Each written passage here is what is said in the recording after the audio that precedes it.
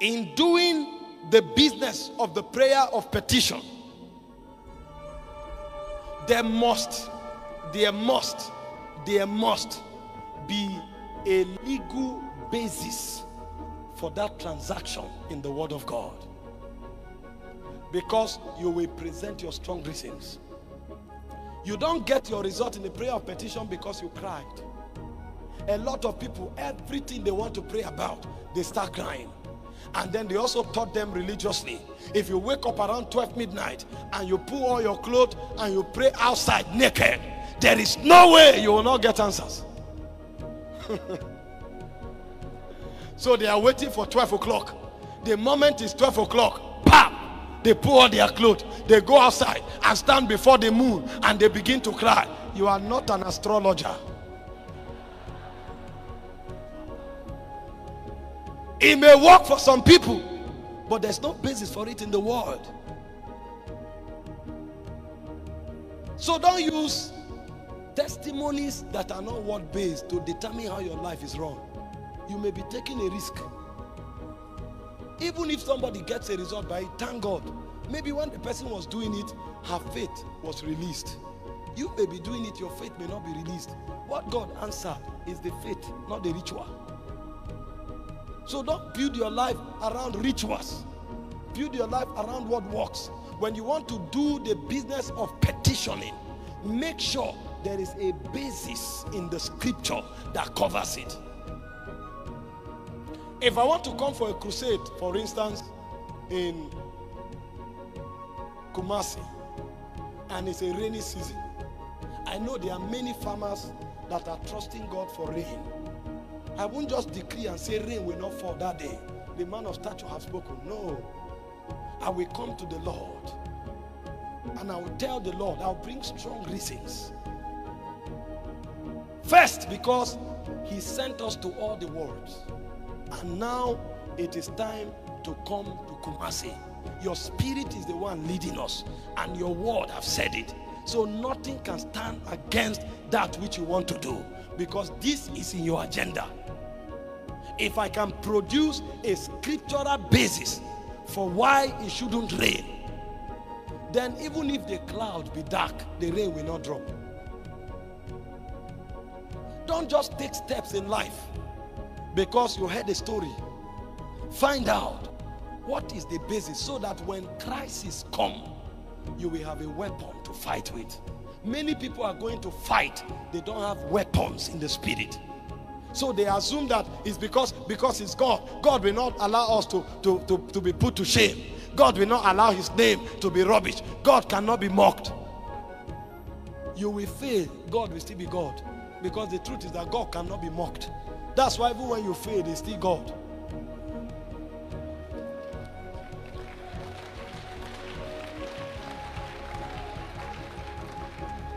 I know why I'm saying this.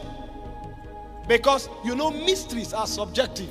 So when we begin to teach mysteries, people hear it and infer a lot of things and go and do. I heard the story of A.A. Allen. He came before a demonized person and said, I am A.A. Allen. And the demon left. I don't know by what he did that. I don't know if the Holy Ghost covered him that day like a canopy and he was sensing the Holy Spirit. I don't know. So if I'm coming to a demonized person, I won't come and say, I am Michael Orokpo. The demon may kick you. But I know a thousand times if I come in the name of Jesus, if I come in the name of Jesus, even if that demon was violent, in the name of Jesus, it must go down. Maybe if the anointing is upon me and my faith go radical, I can come and blow and the demon will go out. But I can't teach it as a doctrine because I will set up a generation. So before you do petition, you must have a biblical basis for your argument because petition is a legal plea for legal demands. Everything about petitioning is legalistic. So when you come for petitioning, you are coming with legal grounds. And the legalities of the spirit realm is the word of God. Number two, when you are praying the prayer of petition, you must assume a legal disposition, not an emotional disposition. The prayer of petition is not done in the church, it's done in the courtroom.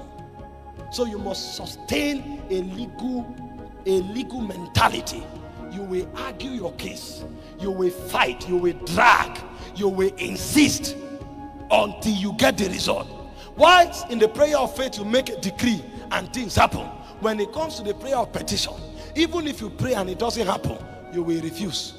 I used one scripture before it didn't work. I'll take two more scriptures. If two scriptures don't work, I will take four more scriptures. I will take seven scriptures. I will keep arguing because the result you get in the prayer of petition is subject to your skill in argument. You may be right, but you may lose if you don't have the skill for legislation and litigation.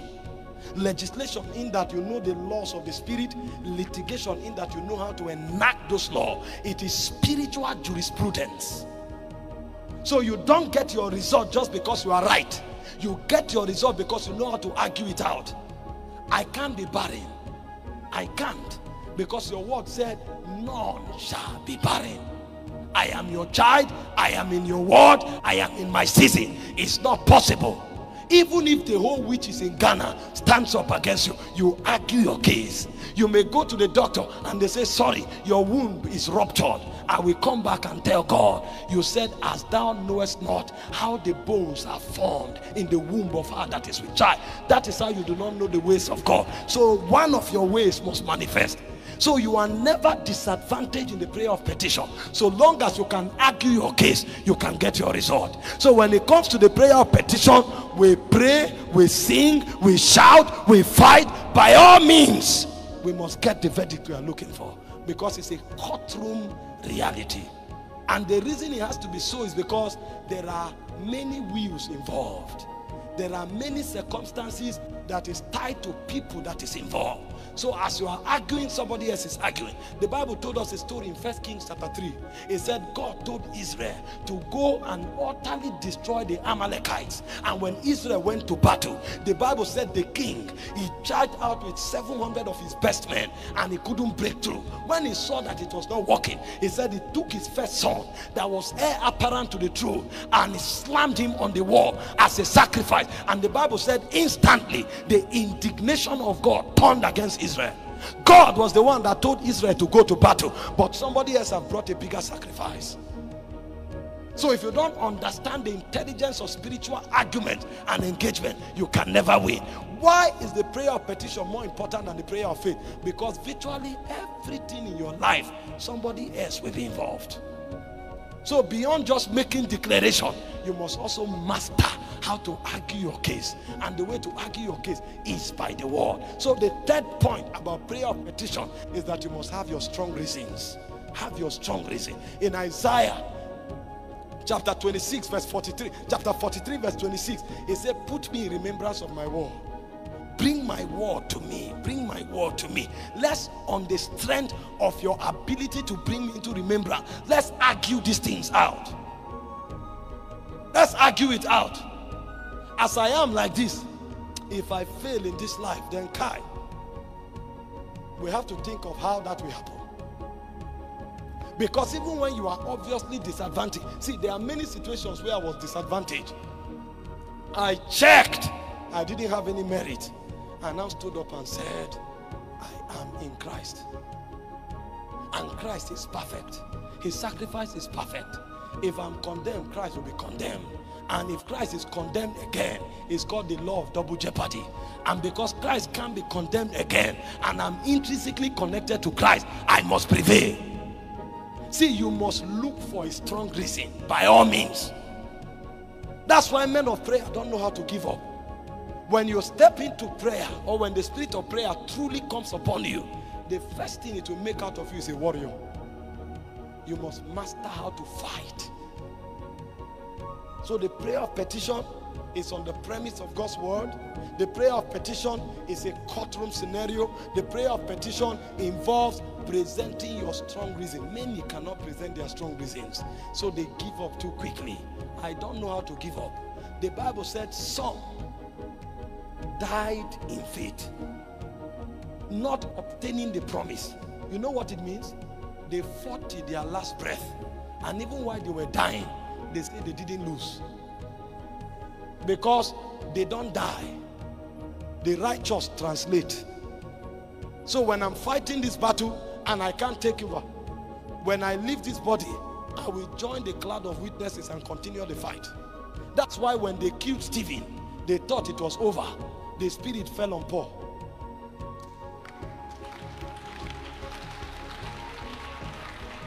We are fighting. The battle doesn't end. It's either you're on the visible side or you're on the invisible side. And if I'm fighting and my breath can't carry me to the end, the moment I don't need breath anymore, I will join the invincible army and the battle will continue. By all means, I must get the verdict. So you must master how to bring your strong blessing. In Hosea 14, verse 2, he said, Carry with you words. I'm sharing this thing with you today so you will know how to fight. Those things that you have given up on, you will go back and tell the devil, He who fights and runs away lives to fight another day. I have come back.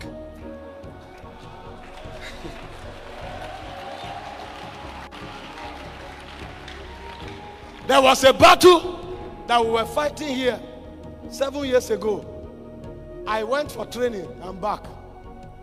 So what did you say? Did you say cancer will kill me? I repeat it again. did you say because my grandfather was poor and my father was poor, me too I will be poor? I, I want to understand. What were you saying again? When you come with understanding, even the devil will run.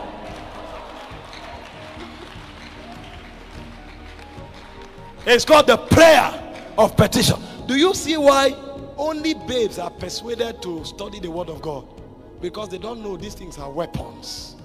They are weapons. When we sit on the scripture, we are not reading to go and preach. No, the journey is great. I'm looking for words. I'm looking for words. I'm looking for words because there are many mountains to climb. There are many hurdles to jump over. There are many wicked men that will gang up against you. Did you not read about Paul? The Bible says 40 men took an oath and said they will not eat or drink until Paul dies. Paul, Paul that will write First Corinthians, Second Corinthians, the Paul that will write Romans, Paul that will write 14 scripture. You say Paul should die? Which Paul? You don't know how many people have stood up against you, you are not aware. As I'm talking to you now, there are people that have taken it upon themselves that they must discredit me. Accusations upon accusation. But when I go into my bedroom, I lift up my hands.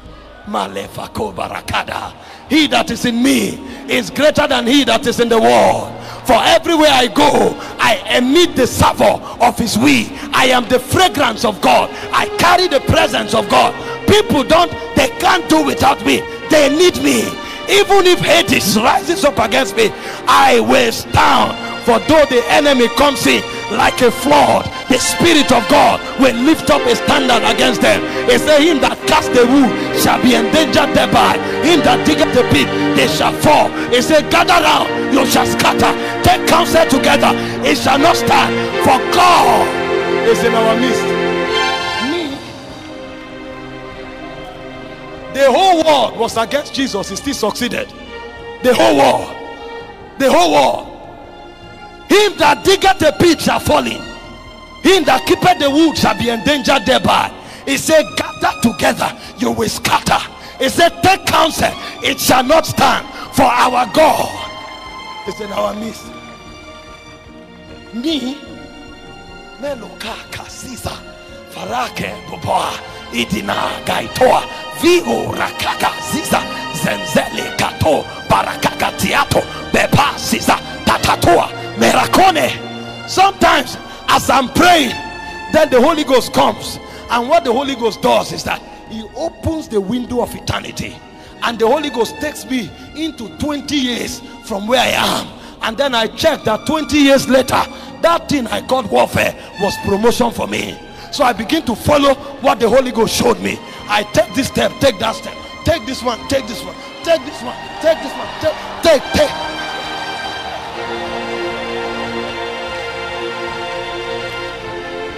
The day you say he's a liar, God is no longer with me. The Holy Ghost now come and say, Go and do a crusade. And as I come, I see crutches. And then that crutches become a testimony that what you said was a lie because God is still with him. Ah, hey. Hey, ah. Ah, ah,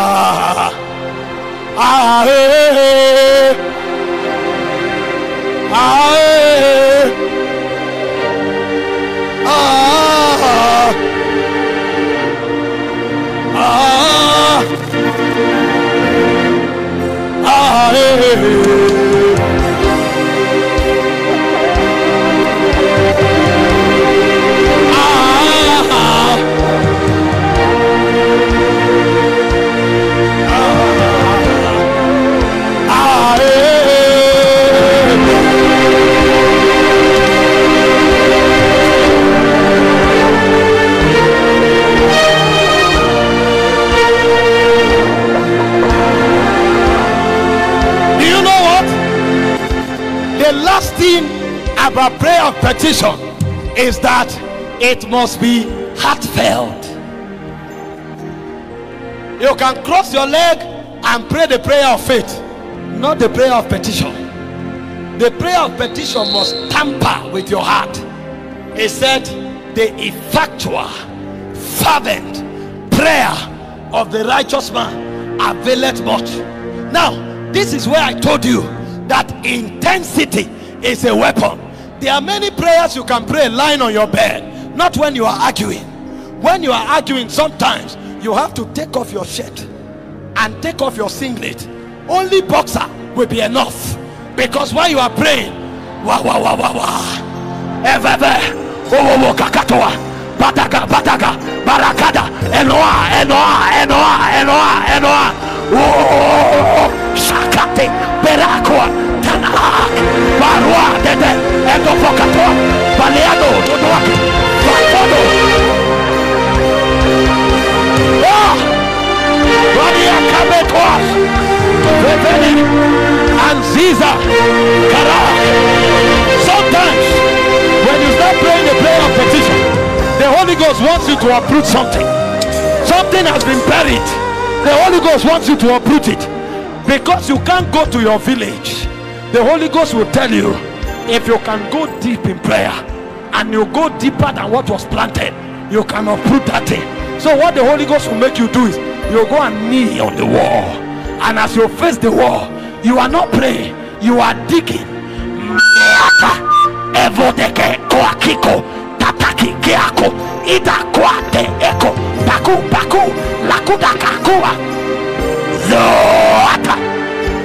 When you finish, you have uprooted something. Because you step into mysteries. Because when it becomes heartfelt, you leave your body and you enter your spiritual frequency. That's when true prayer begins. Yako baraka, evevone, zayandate, ekuole, kave, ezozani ila kamata, abaradi atonata, avovone, erone barada Fanyaje? Zoada ibomoa taka berepadia toto barakata barakoda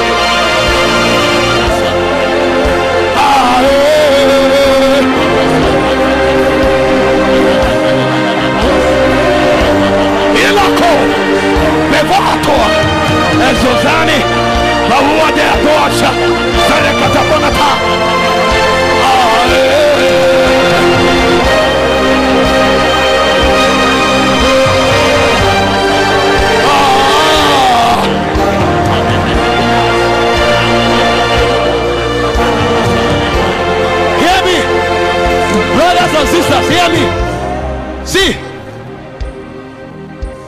Are fighting you, don't talk to anybody. It's a waste. The people you talk to will still go back and lie against you. Forget it. There are too many angels waiting for command. There are spirits of judgment that have fought that battle. Some ancient being need to talk to you because what you are facing now, Enoch faced it. What you are facing now, Elijah faced it. What you are facing now, John faced it. What you are facing now, Paul faced it. So instead of talking to a man that doesn't know what to do, go to the altar and while you are praying, John will tell you, they fought me, they cast me to the isle of Patmos. But when I was in Patmos, this is what I did. And as I was in the spirit on the last day, I heard a trumpet. I heard a sound as of a trumpet. And as I turned, I was in Zion. Melakato, Veveka Swata, Barakoa, Shana. Eboke, Verakada, Sazan the Tire.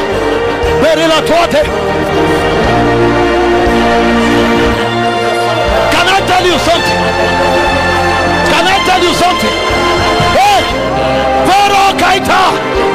Elelanade, Barakado, Zezando Tiana, Barakada. Can I tell you something? In the name of Jesus. In the name of Jesus. Sometimes the only crime you will commit will be the fact that you are the best. Mediocres, people who don't want to excel, they have no problem with failing. But the moment you begin to shine, everybody makes you their enemy. You turn to the left, they stab you. You turn to the right, they insult you. You go forward, they gossip you. You come backward, there's nobody to talk to. Then you say, What do I do? As you go to the altar, then Paul will show up and say, I was also the best. When I started writing scripture, they wanted to kill me. I couldn't enter Jerusalem. They wanted to slaughter me. This is what you do. I was in Arabia. Once upon a time, I took a retreat and I entered Arabia. He said, Come to Arabia. In Arabia, Jesus will appear to you and he will teach you things that will transcend your generation. So while you go to pray, suddenly your spirit comes out of your body and you find yourself in an island in Zion and God begins to download things begin to download things begin to download things somebody should pray in the Holy Ghost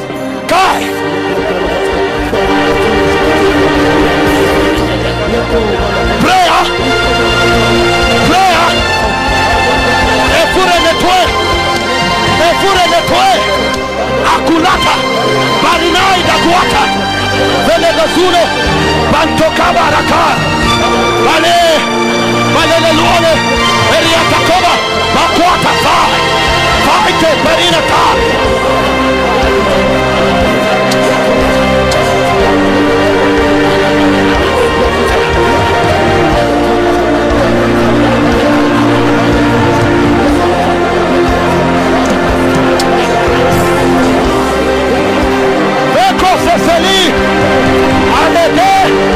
Kazambata.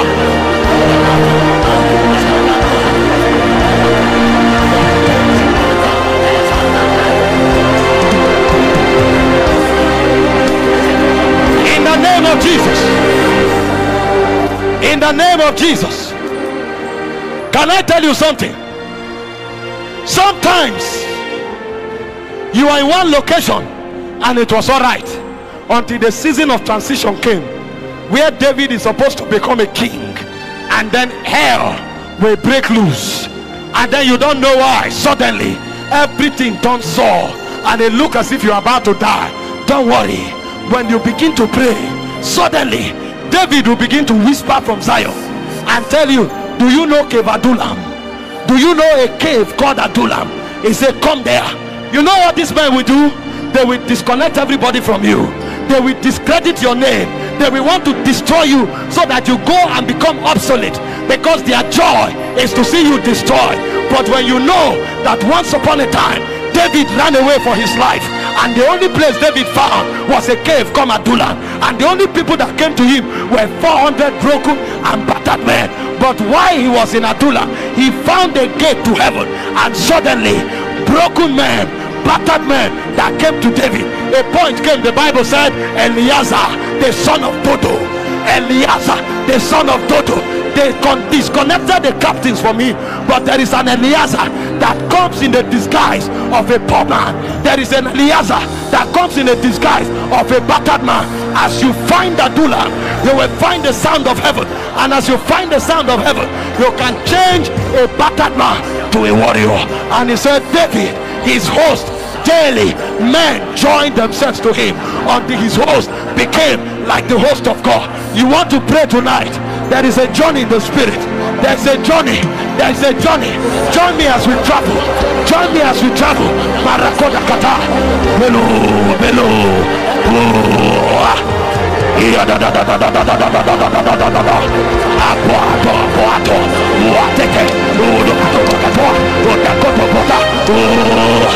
Aqua, Aqua, Aqua, Aqua, Aqua, Aqua, Aqua,